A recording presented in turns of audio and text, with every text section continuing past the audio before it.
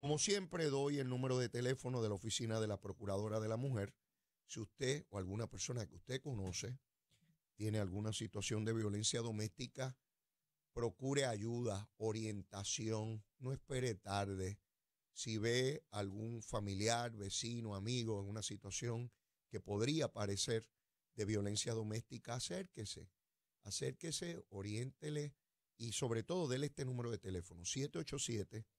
722-2977 y probablemente usted esté salvando una vida.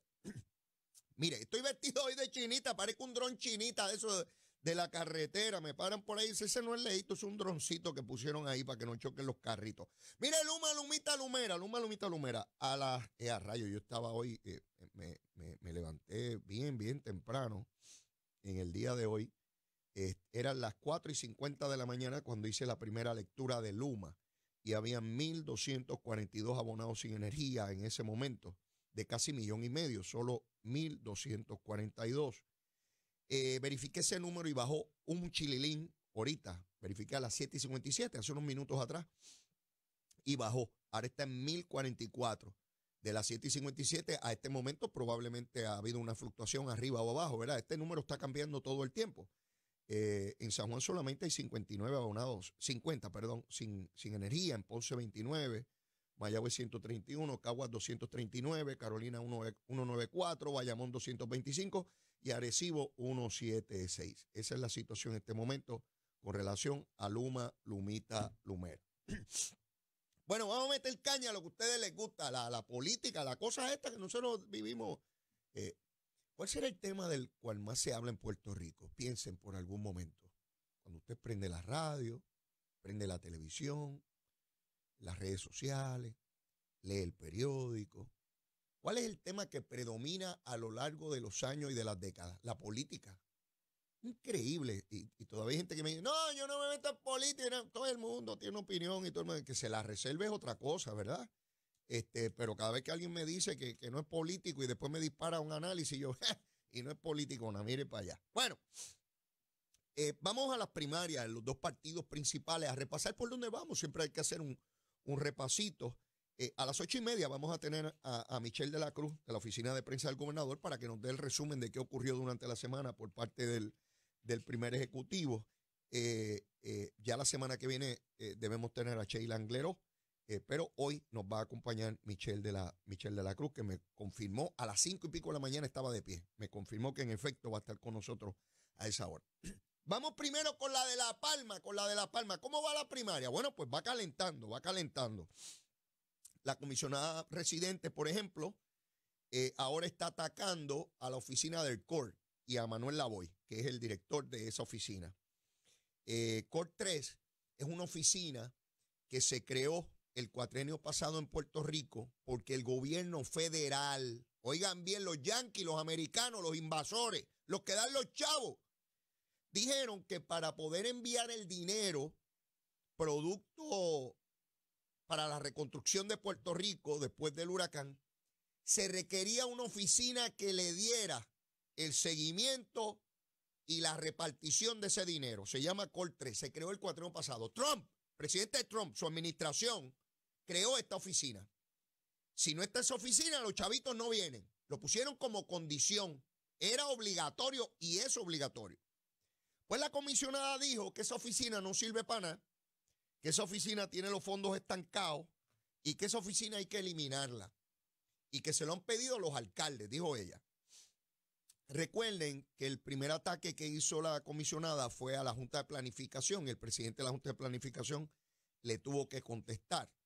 El segundo ataque fue a Recursos Naturales, a la, licenciada Anaí Rodríguez, diciendo que le están fabricando un caso a los suegros. Entonces ahora está atacando a Manuel Lavoy, que dirige la oficina del COR 3 y dice que hay que eliminar esa oficina porque eso no sirve para nada. Y que se lo han dicho los alcaldes, ¿verdad? Pues Manuel Lavoy ha estado por todos los medios eh, desde ayer, lo he escuchado y lo he visto en distintos programas de radio y televisión, explicando que le sorprenden las expresiones de la comisionada, porque él plantea que la comisionada debe saber que esa oficina no es porque nos da la gana o porque nos parece, que esa oficina la estableció, la impuso, la requirió el pasado presidente de los Estados Unidos, Donald Trump, republicano, y ella es republicana. Y ella no dijo nada el cuatrienio pasado. Y de hecho, en casi dos años y medio este cuatrienio tampoco había dicho nada. Fueron los federales, no se puede eliminar esa oficina porque se pierde el dinero. Pero dijo más, dijo, mire, durante el cuatrienio pasado no se avanzaban en los trabajos porque se le requería a cada entidad estatal o municipal que para hacer las obras tenía que ser por reembolso. ¿Y qué rayos es eso de reembolso? Bueno, que yo hago la obra con mi chavo y después le pido a los federales que me den el dinero después que acabó la obra. Pero ¿cuál era el problema? Que los municipios no tenían dinero, por tanto no podían hacer la obra para pedir reembolso. Pues durante el cuatrenio pasado esa fue la gran discusión, el gran dilema. ¿Y qué ocurrió una vez llegó esta administración? Y Luis en Fortaleza y Biden, presidente de los Estados Unidos que se logró. Oigan bien, oigan bien, y esto lo pueden constatar para ver si Leito es un embustero, porque a lo mejor el embustero es Leito y no Jennifer. A lo mejor Leito es el embustero. Usted verifique si eso era así el cuatrenio pasado. ¿Y qué se logró? Por primera vez, bajo la bandera de los Estados Unidos, en la Agencia Federal de FEMA,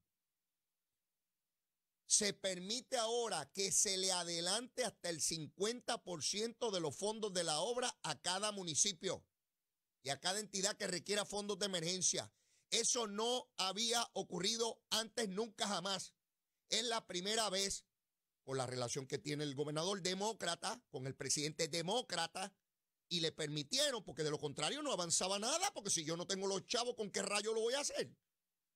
Me tienen que dar por lo menos la mitad, yo arranco y de ahí para adelante pues cumplimos. Pues eso se logró bajo esta administración. Pero anoche en un programa de televisión, está Manuel Lavoy y le ponen a dos alcaldes. El alcalde de San Sebastián, que es PNP, eh, Javier Jiménez, buen amigo Javier Jiménez. A veces tengo diferencias con él, pero yo lo respeto mucho, es un gran alcalde. A veces, ¿verdad? Se pone potrón y se pone, ya usted sabe. Y Tato García Padilla, el alcalde popular, hermano de Alejandro García Padilla, eh, popular de la mata, los tienen ahí en la televisión y le preguntan, oigan, alcalde, uno PNP y uno popular. La comisionada dice que hay que eliminar el COR 3 y que eso no sirve. Y Javier Jiménez dijo, bueno, mire, eh, eso es un requisito de ley federal, eso no lo podemos eliminar. El problema es FEMA, que tiene mucha burocracia, pero en el COR 3 se está haciendo el trabajo y reconoció el trabajo que viene haciendo Manuel Lavoy. Entonces pasan a Tato García Padilla, y usted sabe lo que dijo ese hombre. Popular, popular. Dijo, mire, no. Aquí la oficina del COR 3 está haciendo un gran trabajo bajo, Manuel Lavoy. Fue más lejos. ¿Sabe lo que dijo? Que el COR 3 es antes y después de Manuel Lavoy. Que una cosa era antes y una cosa es ahora. Cómo ha facilitado los trabajos, cómo trabaja para todos los alcaldes, cómo ha acelerado. Él hablaba de uniformar los procesos para acelerarlos. Yo veía la cara de Manuel Lavoy y veía su cara de satisfacción. Manuel Lavoy es una persona muy comedida y respetuoso. Siempre, siempre. Usted lo va a escuchar muy respetuoso. Y yo sé que él tenía que sentirse molesto con las expresiones de la comisionada, porque si uno se está fajando como un león, si uno ha logrado cambiar cosas para que salga la obra de reconstrucción, y viene la comisionada residente, compañera de papeleta del gobernador del mismo partido político a decir que lo que uno hace no vale nada. Uno se revienta el espíritu. Porque es que bien chévere ser comisionado y estar en aviones para arriba y para abajo y bien peinado y bien perfumado hablando gusanga y sin arrollarse las mangas para echar para adelante la reconstrucción. ¿A cuántos parques, canchas, puentes, carreteras, escuelas, e instituciones hay que ir y fajarse con los alcaldes para sacar los dineros. Qué fácil es hablar ñoña por ahí. Y el alcalde popular, Tato García Padilla, reconoce la labor del COR. Tres, la labor de Manuel Lavoy y dice cómo ha acelerado y uniformado los procesos. El alcalde popular reconoce el trabajo del gobierno que Jennifer González dice que no vale nada. Para que vean por dónde va esta primaria, diciendo embuste la comisionada, embuste a todo. Ella sabe que esa oficina es requisito de ley federal de su presidente Donald Trump. Ella lo sabe. Entonces dice que no están haciendo el trabajo. Y vienen los populares a reconocer el trabajo. Mire, mi hermano, uno mira eso y uno dice, mire, debe perder todo el mundo por ir para abajo. Olvídese, esto, esto no vale nada. Sí, esto no vale nada. Aquí lo que vale es hablar ñoña y meter embuste. Tiene que venir un alcalde popular, nada más y nada menos que Tato García Padilla. ¿Usted tiene duda de que es popular? Nació con una bandera de la pava. Cuando nació traía una bandera de la pava. Pan, Tierra y Libertad. Tenía hasta una gorrita como la que usa Luis Raúl. Pan, Tierra y Libertad. Y dice, reconoce públicamente en vivo en televisión la labor que está haciendo el Cor 3 y Manuel Lavoy. Bueno, decir que esa oficina es antes y después de Manuel Lavoy no es cosa sencilla ni liviana. Pero ahí está Jennifer González diciendo que el gobierno no vale nada. No reconoce la baja en el desempleo inmenso que ha habido, histórico. El crecimiento económico, aumentos salariales como nunca a los servidores públicos. ¿Cómo se mueve el proceso de reconstrucción en Puerto Rico? La deuda se logró, se logró establecer un acuerdo de deuda. No se eliminó ni un centavo en las pensiones. Nada de eso ella reconoce. Ella anda por ahí viendo con quién pelea y yo entiendo lo que le ocurre. Está desesperada. ¿Por qué está desesperada? Porque ella esperaba otro ambiente en esta época. Sí, ella esperaba otro ambiente. Y nadie entiende por qué tiene que haber primaria. Nadie lo entiende y ella tiene que crear las condiciones para justificarlo. Pero ni los populares critican al gobierno. Jennifer González se dedica a eso. Creo que tenemos que llamar a Mario, eh, Emanuel.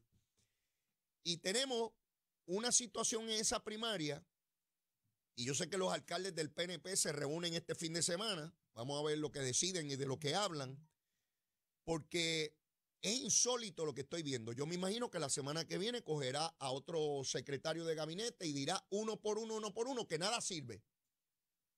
Ni los populares critican al gobierno como lo critica Jennifer González. Ninguno. Al contrario, ¿Usted sabe lo que es escuchar alcaldes populares salir en defensa del gobierno? Eso yo no lo había visto nunca. Pues eso está ocurriendo ahora. ¿Quién es la que está diciendo que la cuestión no, no funciona? Bueno, pues Jennifer González. Por ahí va la primaria. A los PNP, a los de La Palma, ven con ese, agarren esa gata por el rabo. Sí, resuelvan ese problemita y voten como les dé la gana. Ya les dije, yo soy un votito. Ustedes votan como les dé la gana. Días, Leo. Saludos para ti, tu público. ¿Cómo estás? Todo bien. Oye, tempranito, a las cinco y pico de la mañana, ya me estabas confirmando que ibas a estar conmigo. ¿Te levantas al amanecer? Madrugando siempre. Todos los días. Qué bueno. Me alegro. Yo también. Yo estoy al amanecer dando vueltas ya por ahí, loco por llegar al programa. Michelle, cuéntame, ¿qué pasó esta semana? ¿Dónde estuvo el gobernador? ¿De qué habló? ¿Qué se dijo? Pues mire, esta semana el gobernador participa en un foro junto a la Secretaría del Departamento de Energía Federal, eh, Jennifer Granholm, eh, donde puede exponer los avances que ha tenido el gobierno en cuanto a la transformación energética, con la colaboración de la administración Biden-Harris. Okay. Tú sabes que ya hemos hablado de, que hay 133 proyectos de mejora al sistema eléctrico, en proceso de reconstrucción, una inversión millonaria de más de 2 mil millones de dólares, y te puedo mencionar algunos de los proyectos que, que, que, se están trabajando. Hay un nuevo sistema de manejo de energía, una nueva asignación para el manejo de vegetación, la modernización de subestaciones grandes como la de Monacillo. Hay muchos proyectos que están trabajando y están en curso. Okay. Y fíjate que la transformación energética va a ser uno de los grandes legados del gobernador. Que Puerto Rico tenga un sistema de, un sistema de energía moderno, resiliente, con generación de energía a base de fuentes renovables, que como hablamos la semana pasada, ¿te acuerdas? La meta es que para el 2025 el 40% de la energía venga de fuentes renovables. Me llama la atención que Granholm eh, continúa visitando eh, con mucha insistencia eh, este proceso que le encomendó el presidente de los Estados Unidos, que se hiciera cargo de, a través de, de la dependencia que ella dirige de energía, de esa reconstrucción del sistema eléctrico y veo la relación con el gobernador y cómo pueden estar de lleno este, dándole seguimiento a, todo este esfuerzo. Es algo bien positivo. Yo nunca había visto a un funcionario federal eh, que, que, con tanta frecuencia visitara Puerto Rico para una encomienda presidencial. Es la primera vez que veo un esfuerzo en algo que para nosotros es medular, que es realmente la reconstrucción de ese sistema eléctrico. Es una de las grandes prioridades. Y la realidad es que la relación del gobernador con la secretaria Granholm es muy estrecha. Lo vi. Así que los avances van a seguir en progreso. Perfecto. ¿Te acuerdas que la semana pasada te adelanté que íbamos a tener un anuncio? Ah, me acordé de ti. Me acordé de ti cuando vi el malvete electrónico. Yo dije, de esto era que me estaba hablando Michelle. El malvete digital, un compromiso del gobernador cumplido. Así es. Eh, ya el martes pasado, que fue cuando, cuando el gobernador lo anunció, sí. ya la gente puede eh, eh, registrar su sello de autoexpreso en la aplicación de Sesco Digital. Aunque lo que es autoexpreso y lo que es el malvete son dos cosas distintas, con el mismo sellito se va a manejar lo que es el registro digital. Tuve a Borkers eh, acá en el programa, lo estuvo explicando a nivel de detalle. Es bien sencillo, el proceso es bien sencillo. Estoy convencido que los buenos amigos y amigas que tengan que ir renovando su marbete lo van a poder hacer con mucha, con mucha facilidad. Así es que esto es un paso gigantesco en dotar al gobierno de Puerto Rico de la tecnología que simplifica y acelera los procesos, dándole eh, al, pueblo lo que necesita, un gobierno eficiente. Y ya sabes que se han registrado más de 24 mil conductores. ¿Ya?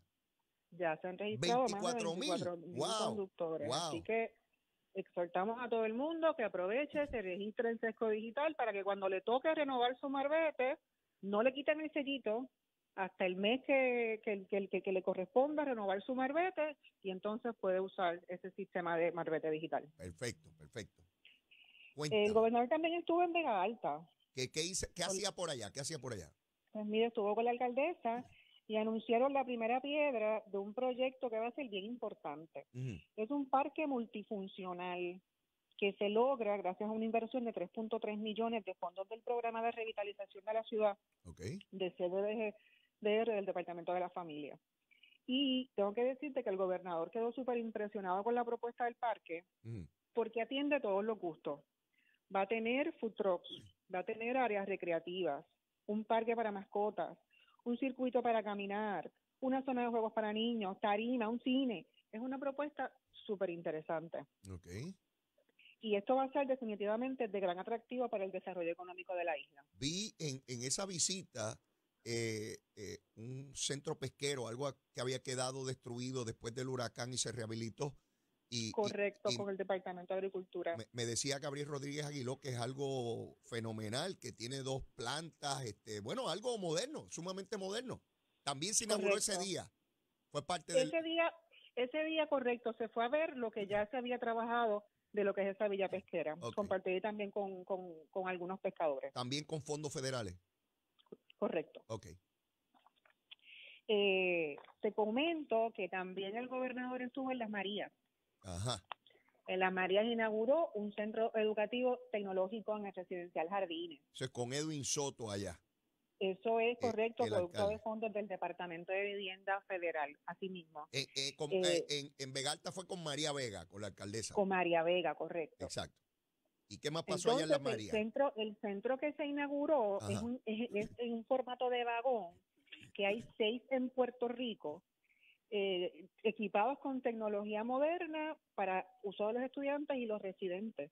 Okay. La meta del gobernador, que lo compartió allí con todos los residentes que nos acompañaron, es que se inaugure un centro educativo tecnológico en cada uno de los complejos de vivienda pública a través de la isla. En todos los complejos va a haber unas instalaciones como esta. esa es la meta. Okay. Y me decías que lo que se va a estar realizando en esas instalaciones, ¿qué cosa? Para estar, para estar bien claro. En el centro educativo tecnológico. Ajá. Se cortó la cinta, es en un formato de vagón. Ok. Es, es, es un vagón que está equipado con computadoras, con audífonos, con, las, las computadoras tienen programas de aprendizaje para niños por niveles, para que ellos lo puedan utilizar en el refuerzo de sus estudios. ¿Quién está a cargo de, esas instalaciones? ¿Es el municipio o es el Departamento de Educación? ¿Cómo funciona eso? No, es el municipio con el Departamento de la Vivienda. El Departamento de la ah. Vivienda Federal puso los fondos, okay, okay. pero el municipio es quien trabaja con esto. Ok, y entonces Eh, Cuando hablamos de niños, ¿hablamos de, de- de todas las edades o un grupo en particular? De todas, de todas las edades. Y, esa, y esas instalaciones están allí para mejorar académicamente a esos estudiantes. Claro, claro que sí. Qué También tienen juegos, También. juegos eh, eh, educativos. Ok, sí, eso es algo que, que por muchos años, eh, ¿verdad? No solamente yo, medio mundo que, que he hablado, eh, eh, de cómo los niños con estos juegos electrónicos se entretienen tanto, cómo incluir la educación ahí de manera que el niño esté, mientras juega, aprende. Mientras juega, aprende, correcto. Ok. ¿Qué más? ¿Qué más hay por ahí? Pues mira, eh, para nuestros adultos mayores, para nuestros seniors, nuestros pensionados. Sí, como yo, como yo, los viejitos como yo. ¿Qué, qué hay para nosotros? Eso lo dijiste tú. Bueno, No, bueno, ya- yo- eso lo dijiste tú, no lo mira, dije yo, yo. yo no No. quiero ser solamente de la tercera edad, yo quiero ser de la cuarta, de la quinta y por ahí para arriba, De la ¿sabes? sexta de todas. Seguro. Claro que sí. ¿Qué hay, pa- qué hay Pues para los mi- viejitos? No, el gobernador anunció junto al Departamento de Hacienda que ya se han desembolsado más de 70 millones en los pagos correspondientes al crédito para personas de 65 años o más y para pensionados de bajos recursos. ¿Cuántos millones? 70 millones. Wow, 70 Como millones. sabes, hace un mes ya estuvo disponible la planilla para seniors y pensionados Ajá. y ya se han procesado sobre 158 mil planillas, más de los que se había procesado el año pasado para esta fecha. Vi, vi al secretario de Hacienda, Paquito, eh, con un grupo de, de personas de la tercera edad recibiendo los cheques. Y Paquito hace cosas que nadie más puede hacer por su edad, ¿verdad? Porque si lo hace un viejito como yo, dicen que estoy haciendo es ridículo. Pero lo vi allí brincando y toda la cosa y grabando una cosa allí. La verdad es que Paquito se la come. Este, este, yo creo que es el mejor secretario. Digo, sin, sin que no se me afecte nadie y se me enchismen. Pero yo creo que es el mejor secretario de Hacienda que hemos tenido en Puerto Rico. Esa es mi opinión, no tiene que ser la de nadie más. Pues mira, pues Paquito, como tú dices, Ah. ha agilizado los procesos en Hacienda, ha, ha minimizado esa burocracia para que el dinero llegue más rápido Ajá. a nuestra gente. Sí es. Así que ya ellos han procesado más de las planillas que se procesaron el año pasado. Wow, wow. De verdad que. Y que- no quiero, ajá, disculpa. Eh, eh, es que el- el- es tan importante el paso que hemos dado gigantesco en términos de tecnología. Eh, En el área de Hacienda es una de las cosas dramáticas, en obras públicas con el sesco. Ahora eh, la- eh, el marbete este digital. Digital. Es tanto lo que se está avanzando que, que- que estoy bien contento porque cuando yo era legislador en los 90 uno soñaba con eso, pero lo veía lejísimo. Y ya, ya no es un sueño, ya es una realidad que se está logrando en este gobierno. Es una realidad y nos ayuda en todo. Sí. Nos ayuda a agilizar el proceso, nos hace la vida más fácil, hace un gobierno más eficiente. Tenemos que, inserta- que insertarnos todos en, ese, en, esa, en esa tecnología. Claro, claro, claro. ¿Y qué más hay por ahí? Cuéntame. Mira, y no me quiero, y no quiero que me, que me cortes, Ah, ya no. terminando, Ajá. sin eh, darte un dato. Dime. Tú sabes que ya en, en semana y pico empiezan las clases. Ah, sí, sí. Ya la semana que viene los maestros empiezan. Ajá. Pues esta semana ya se empezó a entregar a los directores de las escuelas la P-Card. ¿Qué ¿Has es eso? escuchado eso? ¿Qué es eso? ¿Qué es eso? P-Card La La tarjeta para qué? ¿Qué hago con esa tarjeta? es una tarjeta de débito, Ajá. no de crédito, de débito, De débito. que se, le, que se le va a entregar a todos los directores. Ok. Esa tarjeta es una herramienta para que ellos puedan hacer compras inmediatas Ok. de materiales escolares, de, de equipo didáctico, eh, si tienen banda escolar, algún algún instrumento que necesiten. Y eso facilita que, las, que, que los materiales lleguen más rápido a las escuelas. Ok. Y entonces nu- nuestros directores de todos los planteles van a tener esa tarjeta de manera que todo el material que necesiten esté disponible de forma inmediata. Eso es lo que va a De procurar esta tarjeta. La- las compras inmediatas, eso es adicional a su presupuesto escolar. Ok. Es que si tienen que hacer una compra inmediata, ahí tienen su tarjeta de débito para que puedan realizar esa compra. Excelente, excelente. Y yo sé, tal como hiciste la semana pasada, que me diste un atisbo, como dice alguna gente, me anticipaste algo, pues yo quiero que de igual manera me digas qué que, que hay para la semana que viene. Dime algo. Pues mira, déjame pensar, déjame ¿Cómo pensar. que La semana que viene, Dime, dime. la semana que viene vamos a anunciar otro proyecto de vivienda. Otro, Eso es lo que te puedo otro adelantar. ¿Tú proyecto sabes? de vivienda. Sí, tú sabes que el gobernador, eh, que, el- que la gente tenga vivienda segura Claro. es una prioridad y tiene el Seguro. departamento de la vivienda corriendo, haciendo que todo eso esté ocurriendo. Ok, entonces debemos La semana que viene tenemos un anuncito por ahí. Ah, pues qué bueno, voy a estar pendiente. Tan pronto escuche eso, me voy a acordar de, Michelle de la Cruz que me dijo, listo, venimos con vivienda la semana que viene. Michelle, que pase un excelente fin de semana y gracias por tu participación en el programa. Excelente trabajo. Mira, y como siempre, cuando me levante por la mañana temprano, ya sé que tú también estás laborando, que hoy a las cinco y pico ya me, estaba contestando. Tremendo. Un abrazo. Cuídate mucho. un abrazo, gracias, Leo. Buen fin de semana. Ya escucharon, ya escucharon cómo van las cosas. Y es que eh, a la luz de lo que ha sido el proceso contra Donald Trump, recuerdo cuando a Bill Clinton también lo querían residenciar. Y pienso que los poderes políticos en los Estados Unidos, centrados en el Partido Demócrata y Republicano, están haciendo un mal uso del proceso de residenciamiento. Lo están cogiendo como un proceso natural, como un proceso cotidiano. Esta disposición que establece la Constitución de los Estados Unidos para iniciar el residenciamiento, o sea, sacar a un presidente en funciones, debe ser algo eh, que, que, se utilice en última instancia en condiciones sumamente extraordinarias, como fue el caso de Richard Nixon. Sin embargo, veo que ahora, tan pronto llega un presidente, el partido opositor en la legislatura federal, pues inician procesos de residenciamiento. Y llega un momento en que la población pues le pierde seriedad a ese mecanismo y entonces piensan que es meramente, bueno, porque como aquel es demócrata y el otro republicano, pues se van a estar imputando procesos de residenciamiento uno y otra vez. Eso lleva a que la población tenga cada vez menos eh, legitimidad del proceso y donde todo parezca no tener importancia y que todo se relaja a un elemento político partidista de oposición y de lucha y se le resta a los elementos constitucionales más importantes en una democracia. Y, y, por ahí va el caso de Donald Trump. Fíjense que independientemente de las acusaciones que se le hacen, que son en extremo serias, estas últimas tienen que ver con un presidente en funciones que se alega eh, en, acuerdo con otras personas eh, conspirar para invalidar el resultado de una elección. Eso es un golpe de Estado. Eh, y uno, hay personas que piensan que los golpes de Estado, pues, pues eso es por allá en una república barata y pobre. Y todo. Eso es una mala concepción de lo que es el proceso democrático. Hay distintas maneras de socavar las instituciones democráticas y no todas son con pistolas, no todas son con bombas. Eh, y esta es una de ellas. Cuando usted incita a que ocurran conductas contrarias al orden establecido, particularmente para alterar lo que es un resultado electoral. ¿Cuál será finalmente la consecuencia de todo esto? Pues no lo sé. Lo que sí veo es que cada vez pues es más relajado la manera en que se atienden estos asuntos y pues se discuten en la opinión pública pues como un caso más. Le radicaron a Trump un caso más y no, piense que no causa mayor eh, discusión eh, de hecho, yo no veo ni, grandes titulares eh, sobre este asunto en Puerto Rico. En los Estados Unidos, pues se discute a nivel polarizado. Los demócratas dicen que hay que meterlo preso y los republicanos dicen que es un héroe de guerra.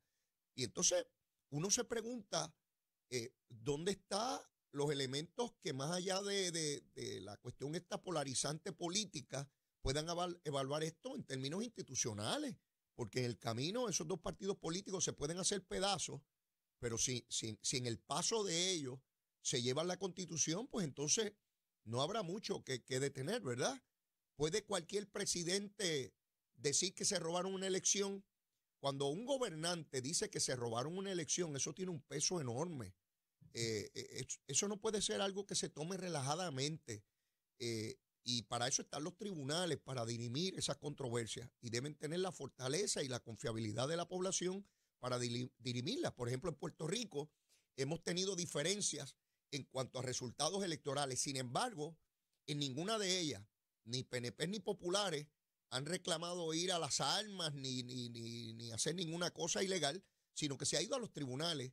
Allí se ha decidido, no tiene que estar uno en favor de la decisión, ¿verdad? Uno la puede combatir, pero finalmente se acata esa determinación. En el caso de los Estados Unidos, cuando el presidente Donald Trump, aquel fatídico 6 de enero de, del 2021, proclamó que, que no había perdido la elección, Giuliani, que fue alcalde de New York, acaba de admitir en una demanda, en un proceso civil, que mintió, que se puso de acuerdo con otras personas para imputar falsedad con relación a la elección. Y uno, yo veo eso y me impresiona tanto porque no estamos hablando de, Pancho Carequeso o el que dijo eso. Estamos hablando de una persona que tuvo en su momento un prestigio enorme cuando aquel asunto de las Torres Gemelas como alcalde de la ciudad de New York y una persona que uno entendiera una persona respetable y cómo este pájaro ahora puede admitir tan sencillamente que él estuvo mintiendo sobre eso. Eso no es una cosa liviana. Y millones de personas creyeron en lo que él planteó. Eso es una barbaridad. Y todavía que hay personas que defienden esa postura. Para mí eso es insostenible. Y, mire, eh, puede haber personas que lo pongan en duda. Yo soy republicano. Yo soy republicano. Y, y me siento tan contento de ver una figura como el candidato que tuve ayer frente a mí, Francis Suárez, alcalde de Miami, una persona que ha logrado tantas cosas en esa ciudad, republicano como yo, y me siento tan contento, y se lo dije, para mí es el candidato, si yo votara en esa presidencia, digo, y cuando llegue la cosa aquí republicana, eh, él es el candidato hispano, consciente de lo que son las realidades, ahí es que creo que deben estar las cosas, y cada cual vota como quiera, ¿verdad? Por supuesto. Pero mire, tengo aquí a Chalimar Rivera. Chalimar, ¿cómo tú estás? Bien, ¿y Qué bueno, qué bueno tenerte aquí. Aquí escuchándote, escuchándote y aprendiendo. Bueno, ¿qué, va a hacer? ¿Qué va a hacer? Chalimar, quise que estuvieras con nosotros. Eh, eres una figura de los medios de comunicación, llevas mucho tiempo en esto, eres una mujer joven, eh, talentosa. Te he visto en, el panel que, acompañas a, otras personas en el poder del pueblo, donde te toca pues cuestionar a, los, a los, distintos invitados que, están allí. ¿Cómo tú te sientes en ese rol? ¿Cómo? La verdad que me encanta, me encanta muchísimo. Nunca pensé que iba a estar en ese rol. Eh, digo, yo he trabajado, eh, estuve dirigiendo la, la, Oficina de Asuntos de la Juventud en Guayama por varios años, trabajando allá con, con el municipio y siempre me he dedicado al servicio público desde muy joven. ¿Te gusta eso? Me encanta, me encanta, me encanta, me lo disfruto mucho, me gusta ayudar a los demás. Incluso no, no voy a hablar de, de, lo que hice antes como una academia donde ayudaba a las nenas a, que fueran a sus competencias o a refinarse, a, tener buena postura, a hablar mejor, una dicción, pero siempre me ha gustado el servicio público, me encanta. He visto que tienes una inclinación por evaluar, evaluar el proceso político. Veo que que te llama la atención, que lo discutes. Y ayer cuando hablábamos de tu comparecencia hoy, rápido me tiraste un tema, me dijiste, Leo, veo algo que me preocupa. Veo que ningún partido político está enfocándose en esa juventud. Eh, no, no, ves campaña, no ves cómo atraer ese joven que está metido, que no es como en mi época, no había celulares ni cosas electrónicas. Eh, ¿Por qué tú piensas que no se acaba de dar ese engranaje entre lo que son los partidos tradicionales y la juventud? Yo creo que los partidos, los partidos tradicionales, los dos principales partidos, el Partido Popular Democrático y el Partido Nuevo Progresista, como que la juventud no le llama la atención en el sentido de que no veo esa campaña. Yo creo que nosotros estamos mal acostumbrados de que mamá y papá son eh, populares o son PNP, van a ser eh, por herencia, lo van a hacer por ellos. Ya esta juventud no es así como que sí te respeto, papi, sí te respeto, mami, pero yo tengo. yo soy yo. Yo soy yo, exacto. Entonces no veo que estén atacando a esa gente. Yo no, yo veo muchos jóvenes que dicen, ay, yo no voy a votar, yo no creo en nada de eso. Yo no tengo ni la tarjeta. Y digo, ven acá, yo el único partido que yo he visto que se está moviendo a eso es Victoria. Los demás, yo no veo a nadie atacando a la juventud. ¿Será una cuestión generacional que los que son los dirigentes de los partidos mayores corresponden a unas edades y a unas generaciones que les es difícil hacer contacto con ese joven? Sin embargo, los de Victoria Ciudadana, pues son jóvenes y quizás les es más fácil. Eh, eh, no sé si tiene que ver con eso, no sé si tiene que ver con el discurso, eh, pero, pero concurro contigo. Yo recuerdo que en la campaña, cuando yo corría para de San Juan en el 2016, yo iba a distintas comunidades y la gente mayor, pues, como con compromiso con el partido que fuese, ¿no? Pero cuando hablaba con los jóvenes, no, yo no estoy inscrito, yo no voto. No, nada, nada, nada. Y te voy a decir una cosa, los jóvenes están listos. O sea, los jóvenes quieren ser parte. esa es tu experiencia, eso es lo que sí, tú Sí, sí, sí, los jóvenes quieren, quieren ser parte. Lo que pasa es que no hay quien los llame, no hay quien los traiga. Y yo creo que eso es algo bien importante y no solamente para, para estos años subsiguientes, estoy hablando para 10, 15 años. Eh, los jóvenes no les, si, si, no le inculcamos que esto es importante, no importa por el partido que tú votes, tienes que votar, tienes que tomar la responsabilidad. Yo creo que ese es el primer mensaje que hay que llevarle a los jóvenes, para mí. En términos de las comunicaciones, ¿verdad? Porque los medios de comunicación juegan un rol gigantesco en todo este proceso y máxime es todo este asunto de las redes sociales que yo no domino mucho, ¿verdad? Este, eh, y veo que los jóvenes casi nacen con una computadora, con un celular en su mano. Pienso que ese es el mecanismo, ¿verdad? para llegar a ellos. No están mirando la televisión en los canales tradicionales, ni los programas de radio tradicionales. Están en unas plataformas que son de jóvenes. Mis hijos que son, mi, mi nena menor, que tiene 16 años, ella no está escuchando radio ni viendo televisión, ella está en las plataformas de TikTok y otras cosas por allá. Y ahí es que se comunican y todo lo que me habla es de esas plataformas. No, y yo no entro ahí, yo no sé qué está pasando ahí. No, sin duda, tienes toda la razón. El, el 70% de los jóvenes ahora tú los consigues por ahí. Pero todavía yo creo en, en, en, ir puerta por puerta. Mira, si tú vas a, por decirte una cosa, eh, Eso es un método bien tradicional, puerta por puerta. Claro, pero yo creo en ese método.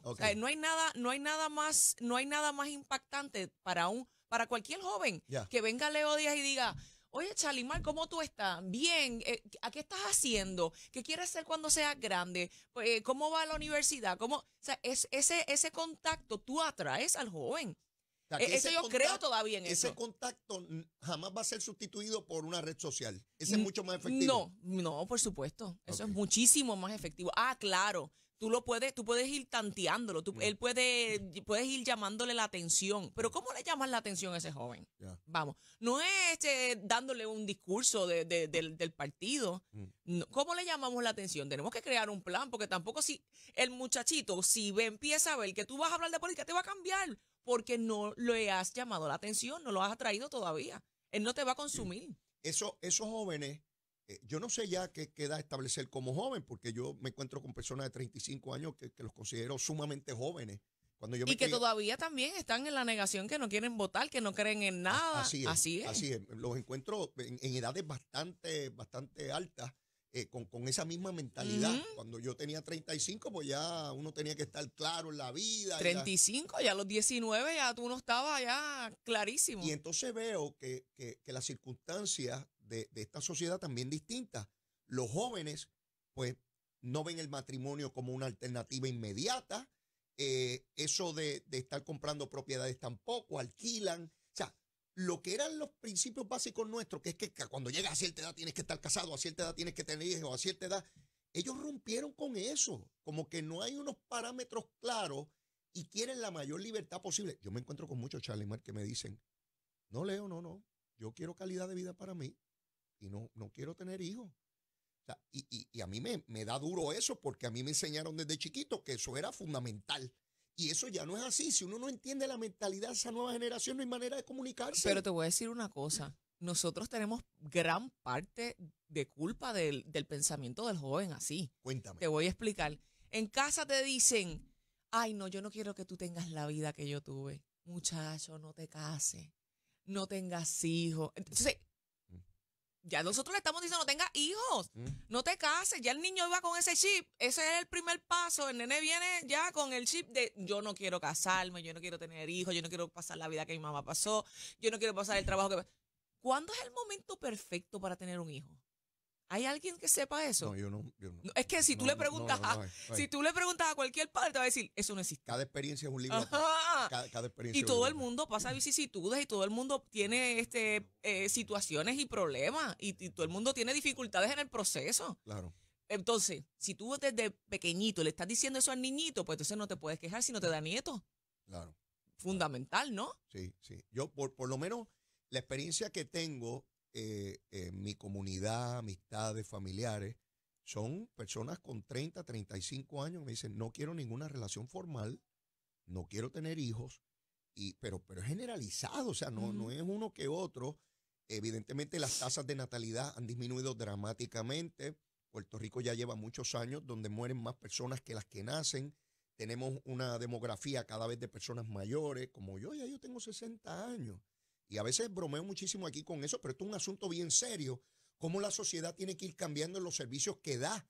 Ya no es abriendo escuelas, porque hay menos niños, es abriendo EIDA, porque hay muchas personas mayores. No, pero y, está bien porque tenemos que dar el, servicio, ¿verdad?, a nuestra población, pero realmente nos tenemos que dirigir realmente a cómo vamos a atacar y resolver esta situación. Porque los niños que nacen se los llevan afuera porque no tienen oportunidades acá, no, sabemos qué vamos a hacer con ellos. Entonces, eso hay que, eh, de verdad, eso es un, un tema bien, bien importante para, nuestra, para nuestro país. ¿Te gusta la política? Me encanta. ¿Te gusta? Me encanta. Bueno, me encanta el servicio público. Y, ya veo que has trabajado en, instrumentalidades públicas, has vivido de cerca lo que es la necesidad. Eh, si has trabajado en el municipio, ahí es donde primero llegan las personas a procurar ayuda. Por supuesto. Eh, eh, no es al gobierno central, donde primero llegan es al municipio. Cuando llegan las personas allí es porque tocaron puertas y nadie abrió. y, es, el, último lugar donde, donde pueden, pueden atenderle las necesidades la política partidista, entrar al proceso partidista, ¿te, interesaría? ¿Lo has mirado alguna vez? ¿Lo has pensado? Realmente yo, yo me disfruto los procesos. Yo ahora mismo no estoy, me estoy disfrutando del proceso de estar en el poder del pueblo, de, de seguir aprendiendo. Eh, si puedo ayudar de la manera que puedo ayudar, ayudo. Eh, realmente estoy en, en el proceso que me encuentro, que es estar en el poder del pueblo. ¿Cómo tú crees que los medios de comunicación que, rinden una labor tan importante en cualquier sociedad democrática, ¿verdad?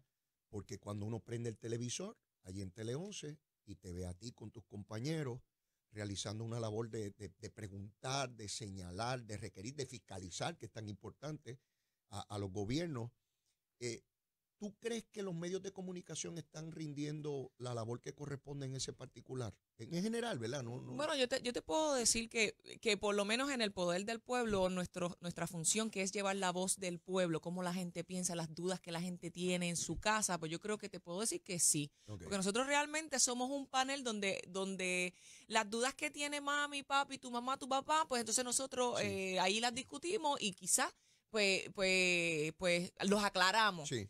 Eh, sí te tengo que decir que yo creo que hay muchos medios que utilizan el medio para dañar o para eh, elevar a una persona por un particular.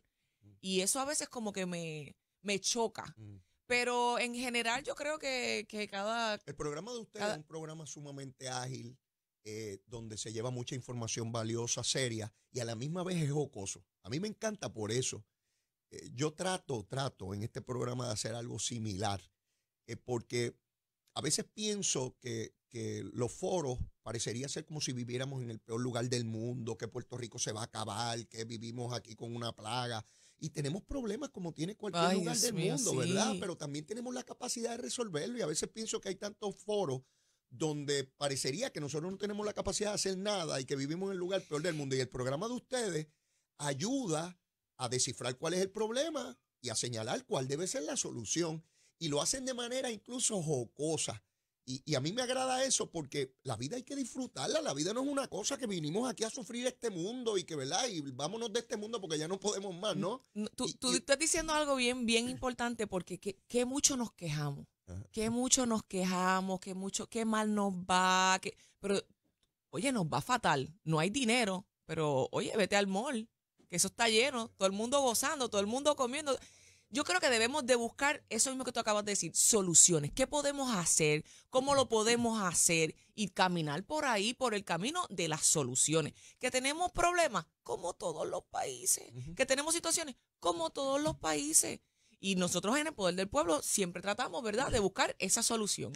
He visto que tiene mucha participación de la gente de la calle, que ustedes procuran que, que el público se exprese.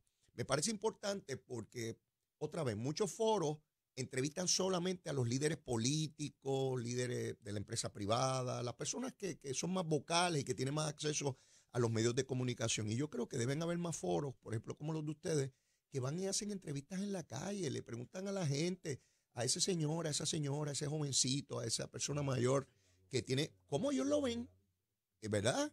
Este, y, y, de esa manera complementar frente al líder político, religioso, cívico, recreativo, cultural y tener esa combinación de cosas. Y yo veo que ustedes lo logran en, el programa. Ustedes tienen una cosa que es desde un balcón. El balcón del pueblo. no, pero en el balcón del pueblo resolvemos las situaciones. Y yo quiero que tú sepas que, oye, la, la gente, hay veces que tenemos filas en el estudio porque la gente realmente quiere buscar resultados, resolver. Que si el, el, el, el, tubo se me rompió hace cinco años, nosotros vamos y lo resolvemos. Que si el poste se me cayó y no, no tengo acceso a la casa, vamos y se lo resolvemos. Yo creo que ha sido bien efectivo el balcón del pueblo, ha sido espectacular. Es una plataforma que yo exhorto a todo el mundo que si tiene un problema, usted vaya ahí al balcón del pueblo que se lo vamos a resolver. Deben, deben, haber más foros como ese, donde el pueblo tenga la oportunidad, de igual manera que llegan a la alcaldía, que también vean foros televisivos, radiales, donde, donde puedan tener esa oportunidad. Yo eh, he estado evaluando la posibilidad de abrir un espacio en mi programa para hacer ese tipo de cosas también, donde la gente pueda llamar o comunicarse de determinados problemas, de la naturaleza que sea. De lo que sea. Y nosotros hacer el mejor esfuerzo para tratar de, solucionarlo, porque abrirle las posibilidades a la, a, la población. Chalimar, tenemos que ir a una pausa, pero luego de la misma, toda persona que está sentada ahí, en esa silla donde tú estás, a las nueve y media de la mañana tiene que hacer una recomendación de almuerzo, un menú. Hoy es viernes y te toca a ti uh. recomendarle al pueblo de Puerto Rico qué debemos almorzar hoy. Ve pensando, ve pensando. Pero mira, un menú chévere, ¿sabes? Quiero que te, quiero que boten la casa por la ventana con ese menú que va a. Yo espero que lo puedan encontrarle. Bueno, tampoco me digas algo que tengo que encontrar así la con una iguana por allá, algo que yo puedo encontrar aquí en Puerto Rico. Tenemos que ir a una pausa y ya mismo viene Chalibán con la recomendación de almuerzo. Llévatela la estos que yo he cargado. A mí también me tienen que cargar, mi hermano. Adiós seguro. Bien chévere. Y te tienen que. No, no, no, no. Y el coro. El coro de la Universidad de Puerto Rico, cantarle el Ave María allí en la iglesia Pilar en Río Piedra. No, esto, esto está todo planificado. Yo soy un tipo planificado. Seguro que sí. Mire que, ¿cómo no me van a cargar? Tú sabes los muertos que yo he cargado, Chalma. Algunos ni los conocía. y los cargué por ahí para abajo. ¿Cómo no me van a cargar a mí? Ay, Adiós. los también y, tiene tiempo eh, el mensaje, eh. ¿cuándo es que va a salir el mensaje y todo? o pues, sea, seguro. Y, voy a, el libreto. y voy a mencionar personas, yo sé, yo sé que fulano está aquí, aunque me detestaba, pero está aquí llorando también. ¡Eh! Yo me voy a encargar de esa cosita. Sí, tengo todo eso planificado, Chalimán. Olvídate de eso. Leo, lo que va a ser los, los board también, de la, están por los expresos también. yo tengo dos o tres personas que van a estar pendientes a que eso vaya como es, en sus horarios, sus cosas, bien chévere. Mira, Chalimán, yo despido unos duelos que hasta el muerto llora. No. Sí, no, porque yo me emociono. Y, eh, eh, pásale un pañuelo al difunto que se emocionó. Mira, vamos, vamos a hablar en serio, vamos a hablar en serio. Charimar, ¿qué tú recomiendas de almuerzo? Ay, Dios mío, yo me comería unas tortitas con habichuela guisada y patita. ¡Y a rayos! Espérate, espérate, suave, suave, suave, suave. ¿Unas tortitas con qué? Con habichuela guisada y patita. ¿Cualquier habichuela? Cualquiera. Me gustan las rosadas así. Ah, pues está bien. Rosada. ¿Guisada con qué? Con patita. Con patita. ¿Patita de puerco o de cerdo? No es lo mismo. No es lo... Chalimán, no me miren mal. No es lo mismo, no es lo mismo. Sí, porque el puerco anda por donde quiera. Es el que a mí me gusta, el que anda por donde quiera. Sí, ah, pues está bien, a mí también me gusta. Bueno, olvídate de eso. Mira, eso, eso, eso es duro para un viernes. ¿Qué, qué? Eso, es, brutal. Mira, ¿tú sabes con qué nosotros bajamos eso? Dale, achero. Ahí está, ahí está. Pues te voy a decir eso, que queda perfecto ahí con está, cuadradito. No, no, nosotros. ¿Pero que tú te comerías? No, yo me voy con eso mismo. ¿Tú te comerías eso? No, no, no, seguro. Ah. a mí me encanta la patita, me encanta, me encanta con arrocito también, me gusta. Uh, sí. Arroz con tocino, eh, arroz con arroz con tocino, bien chévere. ahí en casa de mami, mami lo hace ahí a, la leña. Ah, Qué rico, sí. Y, no, y mi mamá hace la bichola blanda. Ah, Eso de que habichuela de pote. no, no, no, Acá en casa se hace como tiene que ser. Como tiene que ser. Ave María. Ah, y ella no desala mucho la patita. Eso de que, ay, vamos a desalarla. No, saladita. ¿Qué? algo ahí, Leo? Pues si tú supieras. El aguacate. Eh, ah, bueno, un aguacatito ah, seguro, chero. Aguacatito. Sí, sí, sí hay. Si tú supieras que mucha gente espera este segmento y procuran almorzar lo que nosotros recomendamos. Quizás yo me encuentro gente en la calle y me dice, comimos hoy lo que tú dijiste, Leo, este, lo que sea. Este, ah, pues si se comen las habichuelas con las tortitas, usted manden la foto que las vamos a subir todas a las redes ahí sociales. en la página de, Facebook de Nación ah, Pues sí, pues súbala, súbala. Ahí la subimos. Mira, Chalimar, quiero discutir contigo el asunto de, la corrupción. Eh, los casos que se dan y uno piensa ¿Cómo es posible que de tantos casos que hemos visto a través de los años, ¿verdad? Todavía hayan personas de, todos los partidos que incurren en este tipo de conducta y yo eh, no puedo entenderlo. O sea, ¿por qué se toman un riesgo como ese de ir contra ellos mismos y su familia, verdad? Eh, cumplir cárcel y todo eso. Eh, y sé que está el afán de lucro y toda la cosa, pero gente que le dan discursos a la gente de que vengo a hacerlo distinto y toda la cosa. Uno ve funcionarios que acabando de llegar a sus puestos comienzan eh, Guayama fue un caso de eso, donde un, alcalde mm. eh, llegó allí y tan pronto llegó en Aguabuena pasó igual, en Guaynabo pasó igual, en Cataño pasó igual. Y, en ese de Guayama eh, per se particular, él hizo una campaña en contra de la alcaldesa, que ella era una corrupta, que estaba haciendo las cosas mal, le hicieron una investigación a la alcaldesa y de momento, antes de nombrarlo, ya estaba robando. Sí, sí. Entonces, tú sabes lo triste de esto, y digo, y me apena muchísimo la familia de él. Claro. Porque uno, ¿verdad? Tú sabes, uno se alegra del mal ajeno. Sí. Pero lo triste es que nosotros como pueblo confiamos en esta persona que nos dirija, que nos gobierne mm, bien, que nos mm. traiga soluciones, que nos ayude a progresar. Mm. Y eso es lo triste del caso, que, que el país pone a estas personas ahí. Sí, y, y, y fíjate cómo no tiene que ver con partidos, fallan de todos los partidos, de todas las ideologías y con ese discurso, como tú muy bien señalas, diciendo yo vengo a hacerlo distinto, yo vengo a hacerlo de manera íntegra. Y, y estos últimos casos que hemos tenido donde personas acabando de jurar Chalimán. Antes. E, están ya en esta, en esta cosa y uno piensa, bueno, pues cuántos más habrá, ¿verdad? Porque, y no importa la pena que se le impone, porque hemos tenido casos de pena de, de, de cárcel de, de, mucho tiempo, ¿no? Y, y, y siguen incurriendo en este tipo de conducta. Y uno se pregunta, ¿y cómo lo podemos evitar? Porque aquí los delitos no prescriben, las penas son altísimas, ¿qué más uno puede hacer? Eh, eh, y ocurre en cualquier lugar también en, otras jurisdicciones. Pero tú no crees que ahora están como que pueden estar teniendo un poquito de, más temor. Pues yo pensaba eso hace algunos años, pero fíjate cómo vino esta racha de momento que, que cogieron un montón de alcaldes ahí en ese revolú. Yo pensaba eso, pero no sé, Ay, yo quiero pensar que sí. Yo, quiero pensar a, a mí me encantaría, ¿verdad? Igual que tú, pensar que, van a cambiar eh, ese tipo de personas, pero no sé. Algo me dice que, el afán de lucro, el afán de tener dinero a como de lugar y no importa lo que tú tienes, yo quiero tener más y de manera fácil y engañando. Y no solamente en el gobierno, lo vemos en la empresa privada, lo vemos con ciudadanos particulares, porque en el PUA, por ejemplo, millones de dólares se tuvieron que devolver y procesando personas por estar robándose el dinero federal de, del PUA. Y eran, no eran políticos, eran ciudadanos comunes y corrientes. Y después se preguntan por qué nos ponen a la Junta de Control Fiscal. Exactamente, exactamente. O sea, después nos preguntamos, pero sí, es que Dios mío, queremos, queremos todo fácil. En eso, en eso vamos a mudarnos a, a la educación.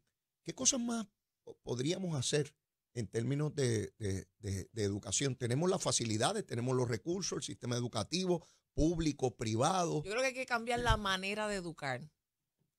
Tú sabes que estaba hablando con una niña de 12 años, hace como dos semanas. Y yo la estaba escuchando y ella me estaba contando de que su maestra de, su maestra de, creo que de español, ella dice, ay, yo, yo, yo, a mí me encanta mi maestra de español y me encanta la clase porque es que ella es tan dinámica. Ella no hace, por ejemplo, el, este cuento lo vamos a leer, pero lo leemos de forma, de, jugamos y ella nos hace juegos y las asignaciones son como en un juego y la verdad que nos encanta a todos esta, esta clase. Versus las de matemáticas que están aburridas, ella nos pone todo así en la pizarra, escríbanlo, nos explica, eh, tienen esta asignación larguísima, es tan aburrida la clase. Yo creo que, otra vez, tenemos que cambiar ese método de enseñar eh, tradicional. Yo creo que debemos de buscarle la vuelta a los niños, cómo podemos educarlos de una manera divertida y que ellos a la misma vez aprendan. Yo estaba escuchando a esa nena y yo decía, ¿qué razón tiene esa niña? Y ella es la que lo está viviendo ahora. Claro, claro. Eh, bueno, como hablábamos ahorita, en la medida en que tiene que ver mucho, yo recuerdo maestros que, que más allá de dar una materia, se identificaban con el estudiante. Eh, ser maestro no es nada fácil. No, yo, yo, yo, no sirvo, yo podría enseñarle a, a, jóvenes adultos ya a nivel universitario, pero niños de escuela elemental intermedia, yo creo que es la fase más difícil. ¿Qué uno hace para mantener la atención de una criatura que está creciendo, que está en formación, que sencillamente no quiere estudiar? ¿Qué rayo quiero estudiar? Yo, yo quiero estar en el patio y quiero estar vacilando ¿cómo, cómo yo hago en el interés de esa criatura? Pues, es lo que te estoy diciendo. sí, eso que tú me hay que, describes. hay que, yo escuchando a la nena, yo decía, ella, eh, esa maestra de español, ella está haciendo lo que se supone que, ¿verdad? Eh, los maestros intenten hacer. Pero te voy a decir una cosa, los papás también se la ponen difícil a los maestros. Antes yo iba al salón y la maestra me diera la clase como me la diera, yo tenía que atender y tenía que pasar la clase, porque si no, cuando yo llevara las notas a casa, me iban a meter en la cara. Ahora, eh, si tú, si el maestro regaña a- al muchachito, ahí viene el abogado del muchachito, el papá. Mm. Entonces, no dejan hacer el trabajo tampoco del maestro. Eh, eh, en la medida en que los padres no se involucran en la educación de sus hijos y ven el sistema educativo como un Como un almacén, enemigo. Y, y, y donde yo meto al muchacho allí, yo me voy a trabajar o me voy a hacer mi asunto y allí me lo cuido. crían y me lo cuidan y me le dan alimento y me le hacen todo y después lo llevo a casa y si no se acuesta a dormir le meto un cantazo para que se acueste y no fastidie más. No, no le meten un cantazo. Acuérdate que ahora estamos, que no, eso, eso no puede ah, bueno, que pasar. no, sí, sí, sí. Y acuérdate que eso ahora es, eso es ilegal y vas preso. sí, sí. Cuando antes te daban un bofetón y si tu maestro te daba, y si tu maestro te daba, ¿quién decía que me dio? No, mami, mister me dio. ¿Qué? Ahí mismo te daba tu mamá. Porque por algo el maestro te dio. Eh, ¿Sabes? Yo creo que los maestros, dentro de todo, hacen el mayor esfuerzo y no hablemos, ¿verdad?, de, de la paga, eh, ¿verdad? Que yo. ahí, ahí, ahí aumentó. y aumentó. o con los mil dólares mensuales todavía, Sí. ¿verdad? Este, no somos competitivos Pero acuérdate que ellos, ellos otra vez. Mira, o- hablando otra vez de la, de la niña que estaba hablando, ella dice, la maestra nos hizo unos buzones. Mira Mm. esto, le hizo unos buzones que cada, que cada uno el viernes podía dejarle un mensaje o una notita a un compañero. Obviamente, la maestra yo me imagino que supervisa los mensajitos, ¿no? Claro. Pero ese, ese- esa iniciativa de compañerismo que ella está tratando de, de- de que los niños tengan Ujú. es, y- es increíble, es súper chula. Ella le ponía buzones eh, eh, a- a- en la pared a los estudiantes y ellos podían mandarle mensajes. Eh, ¿Sabes qué hizo? Mm. Me dice, mira, tú sabes que Shalimar, eh, nosotros cuando llegamos teníamos que juramentar que teníamos que portarnos bien, que teníamos que pasar la materia con buenas notas. Que te- Juramentar. juramentar. Y- Levanta la mano, juro. no, ti- ella tiene todas las manos. Ellos dibujan la mano. Mira esto, mira lo que hace esta maestra. By the way, de Guayama. Eh, ella dibuja así la mano de- del estudiante y la pega en la pared. Ujú, Y todos ellos tienen su nombre. Ellos juramentaron portarse bien. ujú. Ellos juramentaron ser buenos compañeros, sacar buenas notas. Eso está. eh, dime tú. Sí, no, hay muchas iniciativas que, que se pueden tomar y sé que tenemos muchísimos, miles de maestros a lo largo de tantos años que, que- que se nos graban. Yo estoy seguro que tú recuerdas a unos que, que, que- No, yo, yo recuerdo que uno fueron fundamentales en tu educación, igual que yo Sí, recuerdo. ojalá que Missy Rivera de Jesús me esté escuchando. Y Missy Rivera de Jesús tenía un bonche de, de, de reglas Ajá. y decía, dame duro. Dame duro. Dame duro. Ajá. De verdad, tenía un montón y eran muchas. Y decía arriba, dame duro. ¿Y tú la recuerdas con cariño? Con mucho.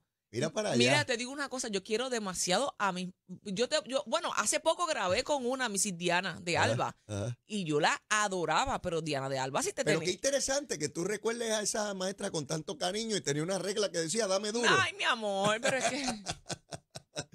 Missy Ortiz si te cogía masticando chicle en el salón, mi amor, te pegaba el chicle en el pelo. Bueno, fíjate. y que- tenías un canto de pelo menos. Qué, interesante, ¿no? Este, y claro, no estamos promoviendo aquí ni la violencia contra los No, estudiantes. claro nada. que no. Estamos comparando esa sociedad que nosotros vivimos eh, frente a la que tenemos hoy. Eh, y ciertamente la educación, yo he narrado aquí cómo mi papá, pues me, me, me obligaba a estar en el colmadito que él tenía cuando salía de la escuela. Yo no me podía ir para la cancha, ni qué sé yo, ni qué, allá en el barrio. Y yo vivía rabioso con eso. Yo odiaba el colmado. Y yo decía, "Pero este hombre me mantiene aquí como un esclavo.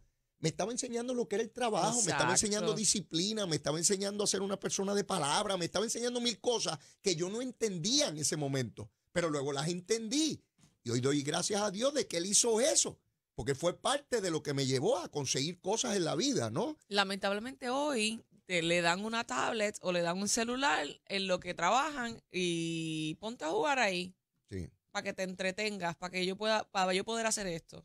Cuando antes tú bien estás diciendo, tu mamá, tu papá te explicaban lo que estaban haciendo, te ponían a ayudar, por lo menos Me- Yo me recuerdo cuando mi mamá trabajaba en, un- en una financiera, yo, me ayu- yo le ayudaba a organizar los papeles, yo la observaba y mi mamá escribía eh, en la maquinilla. En ese momento era maquinilla. Sí, sí, no había ella computadora. Estaba, ella estaba en la maquinilla y yo decía, wow, mami, qué rápido. Tú- rápido. Qué rápido tú escribes, ¿cómo tú escribes tan rápido? Y me dice, mamita, eso es con el tiempo, práctica. Y, y yo la miraba y yo para mí era wow. Y yo le organizaba el, el escritorio, los papeles, el bolígrafo. Y para mí eso era brutal. Yo quería, era un ejemplo a seguir. Yo quería ser como ella, lo que ella estaba haciendo. No estaba pendiente a, a nada. Esta discusión es importante porque, otra vez, pensamos que la educación de, de los jóvenes, de los niños, depende de una institución, por allá, un edificio donde hay unos maestros, y eso comienza en la casa. Sí. Por eso es que yo insisto en que esta, esta mentalidad de que todo lo resuelven los gobiernos, cuando ocurre algo es que el gobierno no estaba, no, los primeros que tienen que estar allí son los padres. Así ¿Qui- mismo ¿Quién, es. quién educó a esa persona? ¿Quién lo formó? ¿Quién, quién lo vigiló? Si tú miras a ver nuestra conversación que estamos teniendo, es todo maestro, papá.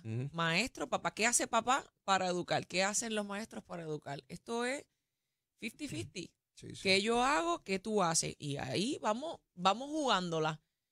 No, obviamente, tampoco esto va a determinar que el niño va a salir correcto. No, no, o sea, no, tú le puedes dar toda la so- educación. sobre eso no hay garantía de nada. tú, tú le puedes dar toda la educación y el muchacho se te Eh, descarrila. Después logra su mayoría de edad y él Es decide, correcto. toma sus decisiones, acertadas o, o- o- o desacertadas. Pero que, lo- que, las dos, que los dos partes hagan su trabajo. Exactamente. Yo creo que ese es pues lo más cercano a, a la seguridad de que ese muchacho pues vaya bien. Mira, allá en el poder del pueblo, ¿cuáles son de las cosas que más se repiten en términos de las personas que vienen a hacer reclamos, las peticiones, los problemas que, que más se repiten? Ay, De- Debo suponer que tiene que ver con Luma, La luz, probablemente. ay, que- oye, tú eres Eso- psíquico. Bueno, porque, porque, porque la luz, la Sí, luz, se fue la, La luz. luz, la luz, muchachos, eso es un problema. Acue- a veces Acueducto le gana a, a- a la luz. Ah, ¿de verdad? Sí, hay veces que yo digo, oye, Acueducto Ah, está, está en camino de ganar la, la carrera, pero después el Luma viene y, y gana y la, la pelea. supera. Sí, sí, sí. Y la supera. Yo creo que ese es uno de los mayores problemas que estamos teniendo. en Sí, ciertamente la reconstrucción del, del sistema eléctrico eh, es fundamental. Y en términos de salud, hay muchos reclamos sobre salud. eh, eh, Ay, hay, hay reclamos, pero obviamente no tantos como, como los de. Pero sí, obviamente este, la falta, la escasez de médicos. ya, sí, eh, eso es un problema sí. que se nos siguen yendo los médicos, las mejores condiciones económicas, de calidad de vida. Eh, ah, muy difícil competir con los ofrecimientos que le hacen en los Estados Unidos a los médicos. Son Sí. increíbles. Trabajar de lunes a viernes, de 8 a 4, pagándole 3, 4, 5 veces lo que le pagaban aquí. O sea, son ofertas que es muy difícil decirle que no. Pero ahora, ahora te digo también, Leo, que yo creo que también las universidades deben de, de hacer un estudio de necesidad en el país. ¿Qué profesiones está necesitando el país para Mm. que ese estudiante cuando salga tenga trabajo? No, Ah, de- no eso- dejar, no Es un, debate, es un debate inmenso, porque aquí hay unas personas que quieren que hayan unos cursos en la universidad y que le dediquen montones de chavos, que la gente tiene el diploma, tiene un papel ¿Y qué hacemos? para ser desempleado. Exacto. Entonces es un debate inmenso porque eh, eh, tenemos unos recursos en la universidad y tenemos que repartirlos. Yo opino igual que tú. ¿Cómo va a salir con un trabajo de aquí que se pueda mantener, que tengamos un ciudadano que pueda echar adelante en la vida? Ajá. Pero de qué rayo me sirve a mí un diploma que estoy desempleado. Porque eh, queremos dos millones de abogados. Sí, sí, porque sí, sí. queremos dos millones. O sea, vamos a ver cuál es la necesidad de nuestro país, en qué, en dónde estamos cojos y vamos entonces a incitar a los niños a que estudien por ahí. Mm. Y claro está, de que les guste, pero presentarle la idea. Sí, sí. De, mira a ver si. Estos son, este es el Eh, abanico de alternativas. Exacto. Esto es lo que hay afuera que está que estamos necesitando. Que está trending, que está Exacto, trending. está trending. Esa es una buena palabra para utilizar. Esto está trending Esto está afuera. trending. Aquí donde están los chavos. y paga bien. Exacto. Porque hay gente Mm. que si uno utiliza la palabra gana bien o dinero, ay, es que la educación no debe estar cimentada en eso. Está bien, no es que esté cimentada en eso, es que vive en una sociedad como en cualquier otra, que usted necesita los recursos para vivir. Contra, pero es que la realidad es, Leo, es que a veces nos vamos muy románticos. Mm. O sea, e- está chévere ser romántico de vez en cuando, eh, pero uno tiene que ser real. Claro, Si claro. tú no tienes cómo devengar, o sea, tienes que pagar la renta, la luz que está carísima, el agua, la compra, o sea, tu carro, eh, después cuando tienes los muchachitos, la universidad del muchachito, la te- escuela, y sigue todo. sumando, Claro. y se sigue sumando, eh, ese, ese pote no va a bajar eh, Pues, eh, de eh, presupuesto. de acuerdo contigo. Mire, estos son los lugares, eh, ya sea eh, profesionales o de oficio, lo que sea, yo busco una persona para que haga un trabajo en mi casa, primero no lo encuentro y cuando aparece alguien tengo que pagar una cantidad de dinero sustancial porque se cobra caro. Bueno, lo que estoy diciendo es que un plomero, un electricista, cobran bien. Claro. Y no tenemos plomero y electricista. ¿Por qué? Porque todos quieren ser abogados. Porque todo, porque, eh, eso es otra cosa. Los papás, aquí va otra vez, los papás a veces le dicen, ay no, mi hijo tiene que ser tal cosa, como si el plomero sea, sea algo malo. Sí, porque la profesión da estatus. Es, es- eso, eso da una posición social importante. Yo soy importante porque, porque tengo tal educación. Y entonces eso, Pero es que eso no funciona es que, así. es que la gente de antes que tenía, digo, tampoco es que vamos a decir ahora que la gente no estudie, pero la gente que tenía un tercer grado, oye, sabía más que tú y que yo. Estoy, estoy claro en eso. Cómo nosotros enfocamos las instituciones educativas a potenciar la capacidad de ese ser humano teniendo una cultura universal, ver- porque tampoco es saber Y- solamente de una cosa, no, ¿verdad? No, y otra cosa, ¿cuáles son las habilidades de ese niño? Exacto. Eso es tan vital y tan eh, básico. Sí, sí. Tú quieres que sea este, o, o sea, yo, Si no es bueno en matemáticas, Eh, no, no es bueno puede- en matemáticas. no puede ser contable. Seguro. pues si no es bueno en matemáticas, no quiera que ese muchacho sea contable. Exacto, exacto. ¿Cuáles, ¿Cuáles son las virtudes? Y si las virtudes de ese, de ese muchacho es bregar con, con tubo, pues deja que sea, deja que sea plomero. El mejor plomero y va a cobrar bien. Y va a ser, y va a ser una persona exitosa. Exactamente. Porque la gente también dice, ay, no, que el éxito, el éxito, eh, bueno, el éxito de la vida no es un trabajo. Vamos, porque tú puedes tener todo el dinero del mundo y, te- y ser un fracaso como persona. Sí, sí. Así que deja que las personas sean exitosas en lo que quieren, en lo que tienen habilidades y en lo que el país necesita. Tremendo, ¿Sí o no? tremendo. Ah, bueno. Chalimar, se nos acabó el tiempo. ¿Cómo un va a placer, ser? Un placer tenerte aquí, tremendo. Oye, ¿cuál es la recomendación de almuerzo? ¿Unas Es tortitas? unas tortitas con habichuela quizá y patita. ¡Ave ah, y espérate, espérate, ¿cómo Eh, es? Achero, ¿y, con Chelo- qué bajamos eso? Ahí está, Chalimar, ahí está, tremendo. Chalimar, un abrazo, un placer Igual. tenerte aquí. Así es que. Tráeme más a menudo, me gusta. Bueno, seguro, te seguro que sí. Esa invitación está abierta, ya te tendremos. Cuídate mucho. Buen fin de Igual, semana. ¿eh? cuídate, buen fin de semana. Bueno,